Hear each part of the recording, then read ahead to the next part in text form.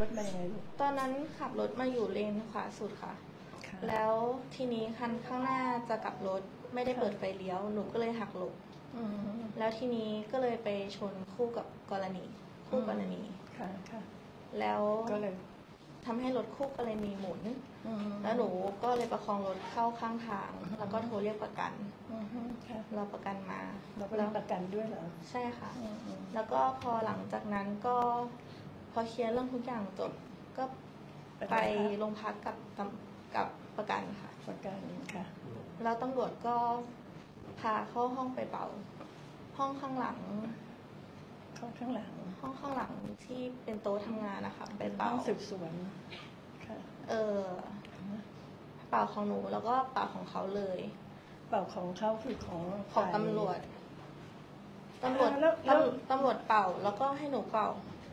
ก็คือมีสองใบเป็นใบที่เป็นศูนย์กับใบที่หนูเป่า แล้วแล้วคนที่เราชนรถเข้าอยู่ว่าแบบไปโรงพยาบาลไม่เป่าด้วยเหรอไปโรงพยาบาลเขาเป็นอะไรป่ะเขาปวดหลังนิดหน่อยค่ะ ปวดหลังไปโรงพยาบาลก็เลยไม่ได้เป่าด้วยค่ะ เขาเป่าเราค่ะตำรวจตำรวจคือ ตอนนั้นมีตำรวจกี่นายอะตำรวจมีสองนายค่ะ เออแต่ว่าคนที่อยู่กับหนูด้วยหนึ่งนาย อีกอีกนายหนึ่งนั่งทำงานอยู่ที่หน้าหน้าคอม เออ คนนั้นไม่ได้ไปใช่ไหมใช่ค่ะ แล้วยังไง แล้วคนนี้ไป ค่ะ แล้วเขาไปก็บังคับให้หนูเซ็นสองใบ ใบที่ขึ้นศูนย์กับใบที่ขึ้นหนึ่งร้อยสาม ใบที่อะไรนะ ใบที่ขึ้นศูนย์ขึ้นศูนย์ใบที่เขาเป่าอะค่ะ ตำรวจคนนั้นหคืมายอเป็ถึนงใบว่าที่เขาเป่าทดลองใช่ไหม แค่ของเราร้อยร้อยสามที่กำหนดของเราร้อยสามของเขาศูนย์อืมเขาให้เราเซ็นสองใบ เพราะว่าเขาใส่เลขบัตรเราไปทั้งสองใบอืมเพราะแล้วเขาก็ตำรวจได้ยศในสิบใช่ไหมไม่ทราบเลยค่ะ เราก็เขาบังคับให้เซ็นทั้งสองใบอืมทีนี้หแล้วนูหลังจากก็เลยนั้นเขาสงสัยไหมเขาพาหนูไปคุยตรงอื่นก็คือหน้าห้องน้ำอืม บอกว่าถ้าอยากได้รถเคลมแบบ อยากอยากให้รถได้เคลมไม่อยากโดนดำเนินคดีอะอืมเอาเงินมาแลกกับเขาหนึ่งหมื่นอืมแล้วทีเนี้ยเราจะเอาใบนั้นให้แล้วจะเอาใบที่เป็นศูนย์ให้ประกันอืมให้ประกันไปเคลมรถหนูอืมกับคู่รถคู่กรณีด้วยอืมค่ะ แล้วทีนี้ วันที่ วันที่หนึ่งหนูแล้วได้วันแล้ววันนั้นเราให้ตังค์เขาป่ะเปล่าค่ะ ไม่ได้ให้วันนั้นไม่ได้ให้ แล้ววันนั้นเราก็กลับเหรอวันนั้นเราก็กลับค่ะ แล้วเราเซ็นอะไรในสมุดอะไรไหมยังไม่ได้เซ็นเลยเลยค่ะ ไม่มีในสมุดไม่นะไม่มีลายแต่ก็เซ็นไปที่โรงพักไปโรงพักเขาก็ค่ะไม่ได้ให้เซ็น ค่ะ แล้วเราขับรถกลับไปเองหรือว่าไงเออ นั่งรถกลับเองค่ะ อืมแล้วทีนี้วันที่วันที่หนึ่ง หนูมีของที่ต้องเอาในรถที่เกิดเหตุ แล้วตำรวจก็เลยมารับที่ที่พักหนู หมายถึงว่ารถเราเขาไม่ให้เอากลับเหรอรถอยู่ที่สพอ๋อค่ะ เขายึดเอาไว้ที่สพค่ะ แล้วเรานั่งรถนั่งรถแท็กซี่กลับเองค่ะ อืมแล้วทีนี้ตำรวจในนั้นก็เลยบอกว่าอยู่ใกล้หนูพอดี ตำรวจคนเนี้ยนะค่ะ แล้วเราเราโทรไปหรือเราไปที่โรงพักหรือเรามีเบอร์เข้าเหรอ เขาให้เขาโทรมา ว่าแบบเนี่ยเขามีเบอร์เราเหรอค่ะ คู่กรณีไม่ยอมคือ ตอนที่ก่อนที่จะกลับเขาให้เขียนที่ที่อยู่ทุกอย่างไว้หมดเลยอืมฮะเขาก็เลยรู้ชื่อที่อยู่เบใช่อร์โทรศัพค่ะท์เราค่ะ รู้หมดทุกอย่างเลย เขาก็โทรมาหาเราว่าใช่ค่ะว่าว่าว่าแบบจะาเมื่อไหร่จะมาเซ็นเอกสารอืมแล้วทีนี้หนูก็เลย บอกว่าวันเนี้ยหนูจะเข้าไปโรงพักไปเอาของที่รถอืมเขาก็เลยบอกว่าเขาอยู่บริเวณนั้นพอดีอืมแล้วเดี๋ยวเขาจะเข้ามารับอืมทีนี้พอเขาเข้ามารับที่พักหนู เขาก็พาหนูไปลงบันทึกประจำวัน ตอนหนึ่งทุ่มยี่สิบเจ็ด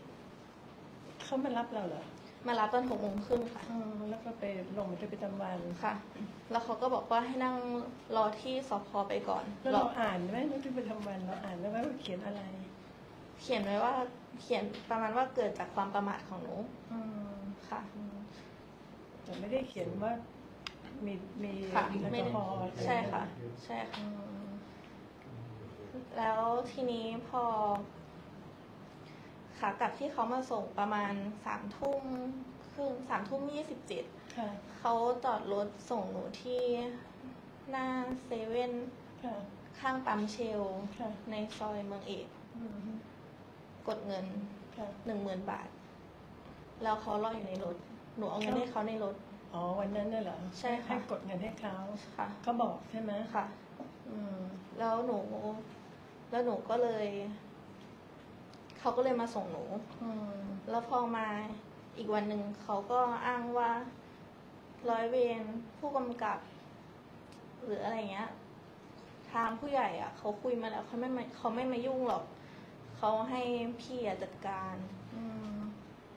เดี๋ยวมานัดกินข้าวกัน มานั่งหาที่เงียบๆคุยกัน อืมวันนั้นเป็นวันที่เท่าไหร่เป็นวันที่สองค่ะ ที่สองสิงหากันยาแล้วนะค่ะสองกันยานะคะ แล้วทีนี้เขาก็เหมือนเปลี่ยนตอนแรกให้หนูไปเจอ ให้ให้หนูนั่งรถไปเจอเขาที่สพตอนสองทุ่มอืมแล้วเขาก็อาบน้ำทำอะไรเสร็จอะไรของเขาเราประมาณสามทุ่มถึงได้ออกไปไปสรุปแล้วมันก็ไปเหมือนร้านเหล้าอืมที่เขาจองเอาไว้อะค่ะอืมแล้วพอ หนูมันเป็นโซฟาสองที่อืมหนูนั่งฝั่งตรงข้าม เขาก็บอกให้มานั่งข้างอืมๆพอมานั่งข้างๆ หนูก็ขอเขา ตอนแรกเขาไม่ยอมให้ใบเป่าหนูที่หนูเซ็นไปอะอืมเขาบอกว่าเอาไว้ป้องกันตัวเอง เพราะว่าปกติแล้วอะ เขาจะไม่ให้ใบใบเป่าอันเนี้ยกับใครอืมใช่ใบเปล่าอันไหนที่เราต้องการ ใบเป่าที่มีลายเซ็นเรา มันมีสองใบไงมันมีสองใบใบใบที่เป็นใบไหน ใบที่มีใบที่มันมีแอลขึ้นกอฮอล์ใช่ใช่ไหมค่ะ เขาบอกว่ากับทุกคนอะเขาก็เก็บไว้กับคอมทั้งหมด อืมเขายังยึดเอาไว้อะ เขายึดไปทั้งหมด อืม เขาบอกว่าเขายึดไปทั้งหมดเขาไม่ยอมให้ อืม แต่พอไปหนูไปนั่งข้างเขาแล้วหนูก็เลยขอเขาอีกทีหนึ่งอืม เขาก็เลยบอกว่า หนูจะต้องนั่งกินเหล้าด้วย แล้วก็ยอมที่จะให้เขาไปนอนที่คอนโดด้วย อืม เพื่อแลกกับใบอันนั้นอืมแล้วสุดท้ายแล้ว หนูก็ไม่ได้ใบ แล้วเราก็ต้องพาเขาไปนอนที่คอนโดค่ะใช่ไหมเขาขึ้นไปนอนที่คอนโดด้วย ค่ะ แล้วเขาเขาบอกว่าหนูบอกให้เขาป้องกัน สุดท้ายแล้วเขาก็ไม่ป้องกันอืมแล้วทีนี้หนูก็แบบแพนิคหนูมีอาการไม่ดีหนูก็วันที่สามอืม หนูก็แอดมิทที่โรงพยาบาล เข้าโรงพยาบาล วันที่ห้าเขามีการทักเข้ามาอีกทีหนึ่งว่าจะมาหาที่คอนโดเอาใบมาให้ อืม แล้วหนูรู้สึกว่าหนูต้องโดนแบบเดิมอีกแน่เลย อืม หนูก็เลยบอกกับคุณหมออืมเล่าทุกอย่างให้คุณหมอฟัง อืมคุณหมอก็เลยให้อยู่โรงพยาบาลอยู่ถึงวันที่หกอืมแล้วจนกระทั่งเขารู้ว่าออกจากโรงพยาบาลแล้ว ก็มาวันนี้ค่ะ ที่เขานัดอีกตอนสองทุ่ม เขาจะมาอืมเพื่อจะมานอนกับเราอะใช่ค่ะเราจะแลกกับใบไอ้นี่ใช่ไหมเพราะใช่เราต้องค่ะการเอาใบนี้ใช่ค่ะ เหมือนเขาเอาใบนี้มาขู่อยู่เรื่อยมาขู่ใช่ไหมอืม เราเราเรียนมหาวิทยาลัยใช่ไหมคะๆใช่ค่ะ แห่งหนึ่งนะค่ะ ปีอะไรปีสี่ค่ะ ปีสี่แล้วเหรอ ค่ะ อืมโอเค แล้วเราคือจริง ๆ การที่เราโดนแอลกอฮอล์กับการที่โดนเนี่ยมัน มันไม่ มันไม่ใช่เรื่องที่มันจะต้องมาแลกเปลี่ยนกันเลยเข้าใจไหมอืมค่ะ เพราะฉะนั้นเราก็ต้องไม่ยอมนะ เข้าใจนะคะค่ะเราเขาบอกเราจะติดคุกอะไรเงี้ยเหรอ ใช่ค่ะ เขาบอกว่า เขาบอกว่าก็เนี่ยถ้าไม่ยอมรับข้อเสนอนี้ก็ติดคุกเลยเราก็กลัวติดแล้วคุกก็ปรับไปเลยสองหมื่นนะเดี๋ยวนั้นอืมมันมันไม่ถึงหรอกใช่ไหมนะ แล้วก็แล้วก็ติดคุกก็ไม่ได้ติดนะอืม เพราะเราไม่ได้อะไรก็มันก็เป็นไปตามกระบวนการนะ ค่ะ เพราะฉะนั้นอันนี้เราไม่ต้องไปกลัวเกินเหตุเข้าใจไหมค่ะ เพราะฉะนั้นเรื่องเนี้ยเดี๋ยวจะพาไปที่โรงพักนะเนี่ยสพธัญบุรีเนี่ยค่ะ ที่นี้เองนะผมว่ากันดาธัญญาธัญญาคิดไม่กลับเว้ยว่าจะเข้ามาเนี่ยคุยกับเด็กอะนักศึกษาเนี่ย ฮะ ไปจะไปเนี่ยเดี๋ยวโทรหาพุ่มกับผมหาหลักสูตรก่อนเลยเอ้าคุณตำรวจโทรตำรวจคนเนี้ยเหรอใช่ค่ะเปิดแล้วพูดว่าเปิดไม่ใช่เดี๋ยวก่อนหยุดเปิดเดี๋ยวเขาพูดว่ายังไง อ๋ออ๋อโอเคอืมลองลองฟังว่าเขาจะพูดว่าไงคุยกับเขาปกติก็ได้ค่ะพูดเลยพูดเลยแล้วมันมันผิดกฎหมายไหมไม่ผิดใช่ไหมไม่ค่ะไม่ได้หน้าเขาออกมา เป็นไรป่ะเป็นไรป่ะ แค่เสียงเฉยๆหรือว่าเขาพูดอะไรกับน้องเนี่ย ค่ะลูกเพจค่ะ ก็เเดี๋ยว เรื่องนี้นะคะก็จะมีการพาไปดำเนินการนะคะอยู่ที่สพธัญบุรีค่ะ ซึ่งทางผู้เสียหายเนี่ยเขาก็รู้สึกว่าไม่โอเคนะคะกับเรื่องนี้ อยากจะให้ จริง ๆ ใจของผู้เสียหายเนี่ยอยากจะให้เปิดไปเลยว่าตำรวจคนนี้เป็นใครเขาจะพูดยังไง ถ้าเราลองโทรหาเขานะคะ เพียงแต่ว่า เราคิดว่ายังไม่ควรดีกว่าไม่ต้องอะไรเลยแล้วเดี๋ยวค่อยให้ตำรวจไปเอามาให้กับให้เรียกผู้จัดมาดีกว่าไม่ควรไม่ควร ใช่ครับ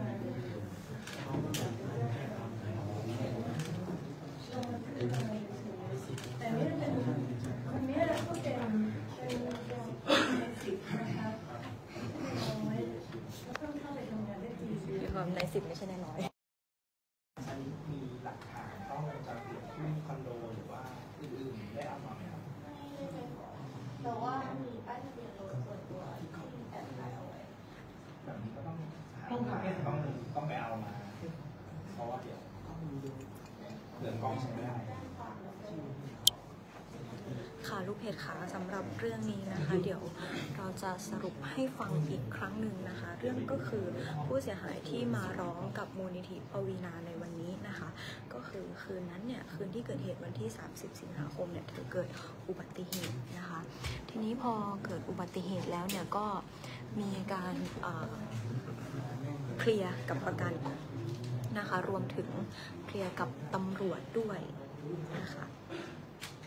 เดี๋ยวขออนุ นะคะมีการเคลียร์กับประกัน แล้วทางประกันเนี่ยก็พาไปเคลียร์ที่โรงพักกับตำรวจ แล้วในวันนั้นเนี่ยนะคะด้วยความที่เป็นอุบัติเหตุจากการเมาแล้วขับ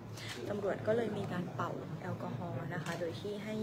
ผู้หญิงที่เป็นผู้เสียหายเนี่ยเป่าแอลกอฮอล์ด้วย แล้วตำรวจคนนั้นก็เป่าด้วยนะคะปรากฏว่าการเป่ามันก็จะมี 2 ใบ มีใบหนึ่งที่ขึ้นเป็น103มิลลิกรัมเปอร์เซ็นต์กับอีกใบหนึ่งขึ้นเป็น0เปอร์เซ็นต์นะคะก็คือของตำรวจเนี่ยเป็นศูนย์ของน้องผู้เสียหายเนี่ยเป็นหนึ่งร้อย103มิลลิกรัมเปอร์เซ็นต์นะคะเขาก็ใช้ใบนี้อะค่ะมาต่อรองมาต่อรองกับผู้เสียหายว่า ถ้าอยากให้เรื่องจบไม่ต้องติดคุกแค่เคลมประกันเฉยๆนะคะให้แลกกับเงิน1 0,000บาท จ่ายเงิน1 0,000บาทให้ตำรวจแล้วเอาใบที่เป่า0%เนี่ยไปเลย ทุกอย่างเรื่องจบนะคะ ปรากฏว่าก็ถูกยื้อมาเรื่อยๆนะคะ จนจนมีวันหนึ่งเนี่ยทางตำรวจเนี่ยมาขอ เป็นข้อต่อรองนะคะ นอกจากเงิน 1 0,000 บาทแล้วยังขอรับนอนด้วย เป็นข้อต่อรองให้น้องนะคะพร้อมบอกว่าถ้าอยากจะจบเรื่องนี้จบคดีนี้เนี่ยต้องให้เขาไปนอนด้วยนะคะแล้วก็มีเพศมีความสัมพันธ์อะไรด้วยกันนะคะ โดยที่ผู้เสียหายเนี่ยไม่ได้เต็มใจ ซึ่งวันนี้ค่ะล่าสุดเนี่ยนะวันที่เราอยู่ตรงนี้นะคะตำรวจคนนั้นก็ยังนัดกับน้องผู้เสียหาย อยู่นะคะบอกว่าให้ไปเจอกันสองทุ่มวันนี้ แต่ก็นะคะเรื่องนี้ถึงมูลนิธิปวีนาแล้วนะคะ หลังจากนี้ก็จะมีการช่วยเหลือแล้วก็ไปแจ้งความที่สพธัญบุรีต่อไปค่ะ ในส่วนของเรื่องนี้นะคะ เดี๋ยวเราจะอัปเดตให้ความคืบหน้าของเรื่องนี้จะเป็นยังไงนะคะ เดี๋ยวเราอัปเดตให้ที่อีจันนะคะ เดี๋ยวขออนุญาตลงไลฟ์ไปก่อนนะคะ ลูกเพจค่ะ สวัสดีค่ะ